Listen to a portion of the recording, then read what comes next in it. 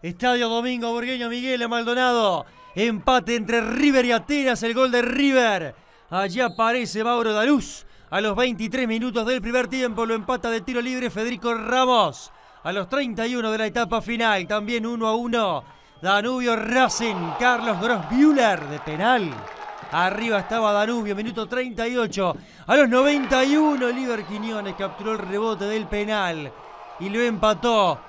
Firmaron tablas en Jardines del Hipódromo. Ganó Boston River.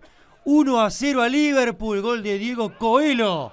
Ahí está el hombre de Nacional. A préstamo en Boston River. Poniendo en el Parque Artigas el 1 a 0. Ganó Progreso. Estadio Olímpico 2 a 1 a Rampla. Gastón Colmán. A los 21 todos los goles en el segundo tiempo. Ponía el 1 a 0. Pica Facundo La Bandeira. A los 40 otro hombre perteneciente a Nacional poniendo el 2 a 0 para el gaucho de la Teja. A los 42, el rata Diego Martiniones. Allí está la habilitación de Olivera y la definición de Martiniones ganó progreso. 2 a 1 a Rampla. Peñarol dio cuenta de Wanders en el campeón del siglo. 3 a 0 a los 20 minutos. El gol de Fabián Stoyanov. Toda la jugada de Rodrigo Rojo después del travesaño Stoyanov. Peñarol 1, Wanders 0 a los 41 ya en el segundo tiempo. Hacía poquito estaba en cancha el toro.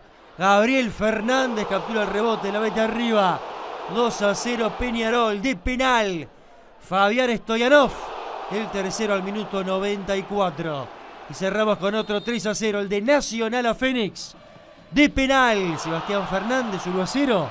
A los 15 minutos de la primera parte, a los 17 Qué error, qué error de Olivera. La pelota lo superó y Matías Zunino definió. 2 a 0 arriba Nacional. El tercero, otra vez, Sebastián Fernández, que ya empezó a correr, ya empezó a correr acá abajo, va corriendo, va corriendo. Ya se frena Zunino, ya levanta la cabeza, viene Ayer de primera. Gol de Papelito Nacional 3, Fénix 0.